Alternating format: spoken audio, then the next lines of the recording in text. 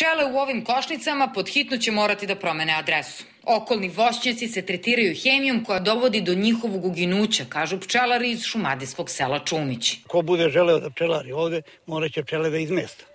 Da izmesta na neke prostore koji nisu pokriveni konkretno voćem, voćem i, i, i zaštitom hemijskom. Voće se prska tokom celog leta. Njive i međe se prskaju herbicidima koji su štetni za okolinu i čoveka, a kamoli za pčelu. Ja razmišljam da, mada sam u godinama da to ne bi trebao da razmišljam, da negde preselim pčelinjak gore bliže rudniku. Postoje mesta, postoje džepovi gde, gde toga nema mnogo i to je jedini način da, da jer pčelu volim.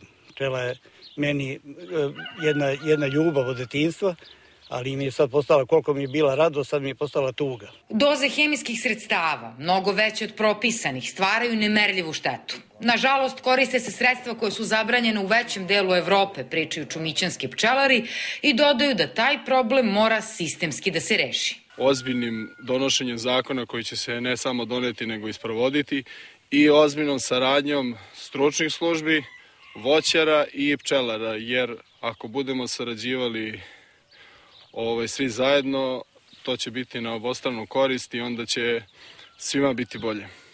I pčelama, i čoveku, i celokupnoj prirodi. Pčele voćarima povećavaju prihode za više od 300 evra, a njihovo izumiranje smanjuje prinos i do 40%, kažu stručnjaci. Prskanje voćnjaka se jako malo kontroliše. Do kontrole tretiranja dolazi prilikom izvoza ili pak kada se desi neki problem kada dođe do velikog trovanja pčela. Naši poljoprivredni proizvođači uvek idu sa onim da je malo veći, veću koncentraciju dam i upravo a, zbog toga nastaju problemi. Ranije je s mnogo manje rada bilo mnogo više pčela i meda. Sredina je bila zdravija, pričaju pčelari. Poslednjih godina se sve promenilo. Nekontrolisano korišćenje hemije u voćnjacima dovelo je do znatnog smanjenja broja pčela, ali i do promene u kvalitetu meda.